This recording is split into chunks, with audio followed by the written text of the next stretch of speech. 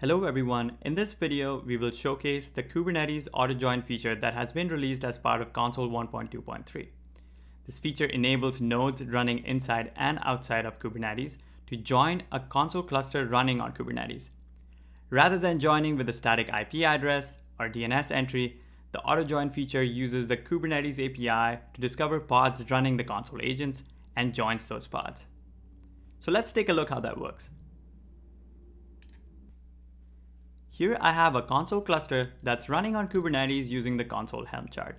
We can also verify this by using the Consul UI and listing all our nodes. Here we have three server nodes that make up the Consul cluster. Let's use the auto join feature to join a VM that's running outside the Kubernetes cluster. Here I have a VM that's running outside the Consul cluster. I've already downloaded the latest version of Consul, which is Consul version 1.2.3 on this VM. First, let's start the Consul agent without using the auto join feature in Consul. Here, I'm providing a few flags to Consul like the data directory and also setting a log level to debug so we can get more information. Let's start the agent. As soon as we start the agent, we see that this agent isn't able to find any Consul servers in the given data center. Now we can provide that list using IP addresses, but the IP addresses can change over time. Since our Consul cluster is running on Kubernetes, which is a dynamic scheduling environment, there is a possibility of the server IPs changing over time. So let's stop this agent.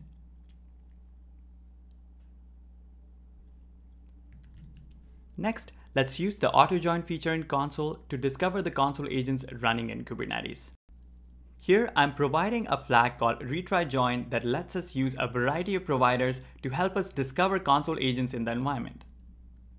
It uses labels to discover the pods that are running the Consul agents. Here, I'm going to provide the labels that are attached to the Consul server pods in Kubernetes. I'm going to use app equals Consul and component equals server. Let's start this agent.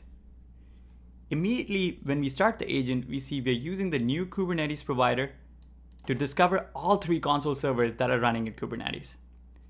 Let's validate this using the Consul UI. Here we can see we've successfully joined an agent running outside the Kubernetes cluster. This is how easy it is to use the auto join feature in Consul to join nodes that are running outside the Kubernetes cluster. Thank you.